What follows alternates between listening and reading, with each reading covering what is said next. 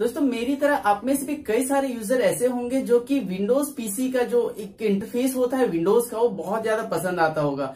जैसे कि अगर हमें कैलकुलेटर यूज़ करना हो या कोई कैलेंडर यूज़ करना हो तो एक फ्लोटिंग सा, एक छोटा सा विंडोज़ आता है, जिसके अंदर हम सारा काम कर पाते हैं, उसे बाद में क्लोज कर सकते हैं। तो हम जो एग्जैक्टली यूज़ कर रहे जो भी एप्लीकेशन उसके अंदर ही रहते हैं और उसके उसके अंदर ही दूसरे भी काम को कर सकते हैं।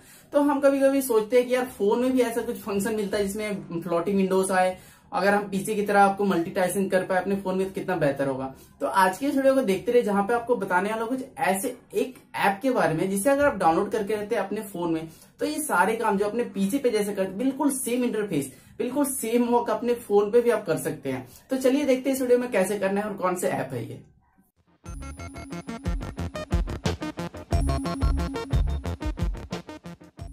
हेलो दोस्तों सीखे सीखे में मैं सूरज एक बार फिर से आप सभी का बहुत बहुत स्वागत करता हूँ। दोस्तों, आज के वीडियो में जैसे हम बात करने वाले हैं मल्टीटास्किंग के बारे में फ़ोन में हम जैसे मल्टीटास्किंग करते हैं, वैसे तो हम कर सकते हैं, जैसे स्प्लिट स्क्रीन वगैरह बहुत सारे ऑप्शन मिलते हैं आपको, या तो फिर कहीं अनदर थर्ड पार्टी एप्स भी यूज़ कर सकते हैं इसके लिए। लेकिन यहाँ पे आपको क्या होता है वन और टू या थ्री ज़्यादा ज़्यादा एप्लीकेशन को एक साथ यूज़ कर सकते हैं, वहाँ भी पूरा स्क्रीन आपको फिलअप हो जाता है। वहाँ पे विंडोज़ जैसे पॉपअप जैसे विंडोज़ नहीं देखने को मिलता है। तो आपको यहाँ पे अगर आप ऐसा कुछ करना चाहते हो तो यहाँ पे एक एप्लीकेशन है मल्टीटास्किंग फ्लोटिंग मल्टीटास्किंग अगर आप इसे प्ले स्टोर से डाउनलोड करते हैं तो आप सारे काम कर सकते हैं अपने फ़ोन पे फ्लोटिंग विंडोज़ के साथ में। तो कैसे करना है? चलिए देखा तो आपको कौन सा ऐप है, कहाँ से आपको डाउनलोड करना है। वैसे तो आपको लिंक डिस्क्रिप्शन में मिल जाएगी। अगर आप प्ले स्टोर से जाएँगे तो वहाँ से भी आप सर्च करके इसे डाउनलोड कर सकते हैं। चलिए लेके चलते आपको अपने फ़ोन पे। वहाँ पे आपको दिखा सकूँगा, अच्छे से समझा सकूँगा कौन सा ऐप है, कैसे यूज़ करना है, कैसे वर्क करता है तो चलिए देखते हैं अपने फ़ोन पे चलते हैं।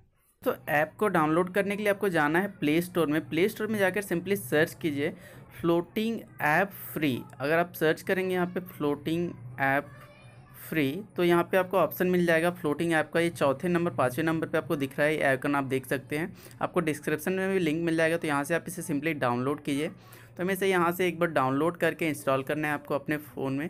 चलिए मैं यहाँ से इसे डाउनलोड कर लेता हूँ और ये इंस्टॉल हो रहा है। इंस्टॉल होने के बाद आपको इसे सिंपली ओपन करना होगा। चलिए मैं यहाँ ओपन कर लेता हूँ इसे और ओके, जस्ट सेकेंड। यहाँ पे एक स्कैनिंग हो रही है। तो यहाँ पे कुछ आपको दिखा रहा है कि कैसे का आपको यूज़ करना है, कहाँ पे क्या इसके कस्टमाइजेशन होंगे। तो आपको सिंपली ये आपको नेक्स्ट नेक्स्ट करते जाना है और यहाँ पे कुछ परमिशन अलाउ करने होंगे। यहाँ पे आपको परमिशन देना होता है किसी भी ऐप के ऊपर ड्रॉ करने के लिए, क्योंकि ये फ्लोटिंग ऐप है और यहाँ पे स्टोरेज के भी परमिशन ऐसे दोनी होती है। तो ये दोनों परमिशन देने के बाद आप यहाँ पे क्लोज़ करेंगे इसे स्टार्ट नाउ पे। तो यहाँ पे आप अंदर आ गए हैं आप इसके। अब यहाँ से हम बैक जाते हैं तो ऊपर देख सकते हैं आप टॉप लेफ़्ट कॉर्नर में तो यहाँ पे आपको एक ऑप्शन मिलता है, जैसे हम चैटिंग ओपन कर लेते अगर व्हाट्सअप की तो यहाँ पे आइकन पे क्लिक करते तो यहाँ पे आपको हमारे पास बहुत सारे विंडोज़ मिल जाते हैं, जैसे कैलकुलेटर ओपन कर लिया हमने।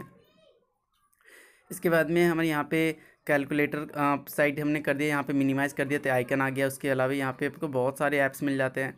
तो यहाँ पे और कोई ऐप ले लेते हैं हम, यहाँ पे जैसे कि कैलेंड लॉन्चर ले लेते हैं। तो लॉन्चर लेंगे तो यहाँ पे आपको लॉन्चर में जैसे कि बड़ा साइज़ कर सकते हैं, छोटा साइज़ कर सकते हैं। लॉन्चर के अंदर जितने भी आप अपने इंस्टॉल कर रखे ऐप, वो सारे आपको देखने को मिल जाते हैं। तो यहाँ पर भी आप कोई ऐप चूज़ कर सकते किसे आपको फ्लोटिंग की तरह यहाँ पे यूज़ करना है। तो यहाँ पे अगर किसी को मार्क करते तो आपको स्टार करते तो आपको फेवरेट में भी आ जाता है। और भी ऑप्शन ले लेते तो यहाँ पे यूट्यूब है तो अगर हम यूट्यूब को ओपन करना चाहते हैं तो यहाँ से सिंपली हम यूट्यूब देख सकते हैं, यहाँ पे चैटिंग भी कर सकते हैं। तो ये हमारे साथ नए जो भी फ्लोटिंग ऐप्स के आइकन आते जा रहे हैं, वो साइड में हम एक साथ जमा करते जा सकते हैं। जैसे हम फेसबुक ओपन कर लेते हैं तो ये बहुत सारे आपको यहाँ पे ऑप्शन मिल जाते हैं। आपके फ़ोन में जो है वो उसके अलावे कुछ एक्स्ट्रा इनबिल भी मिल जाते हैं तो यहाँ पे हटाना हो तो नीचे स्लाइड कीजिए, हट जाएगा ये। या तो फिर यहाँ पे आप इसे कट करते हैं तो वो भी आपको आइकन वहाँ से हट जाता है। चलिए यहाँ से कुछ ब्राउज़ करके देख लेते हैं तो यहाँ पर अगर हम कुछ सर्च करते हैं चलिए चैनल का नाम ही सर्च कर लेते हैं सीखे सिखाए।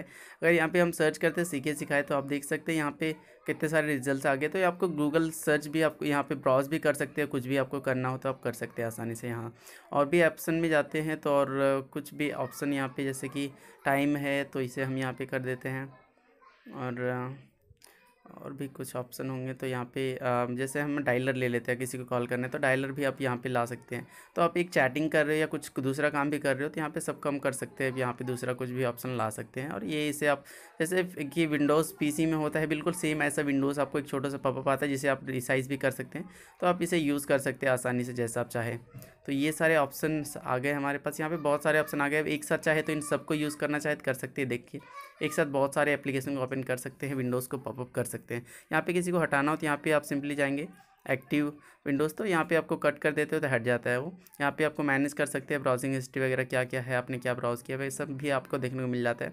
और भी यहाँ पे कई सारे कस्टमाइजेशन है, आप चेक कर सकते हैं इस ऐप को डाउनलोड करने के बाद आसानी से। और इसके अलावा यहाँ पे हम जैसे कि ये जो ऐप्स हमारे सब क्लोज़ कर दिए। इसके अलावा यहाँ पे अगर हम लेफ़्ट राइट से लेफ़्ट स्लाइड करेंगे तो यहाँ पे आप देख सकते हैं, यहाँ पे भी आपको एक शॉर्टकट मिल जाता है। यहाँ पे कुछ भी आप ओपन कर सकते हैं, सिर्फ़ आपको स्लाइड करना होता है। तो ये आपको एक शॉर्टकट मिल जाता है आपको कुछ भी ओपन करने के लिए।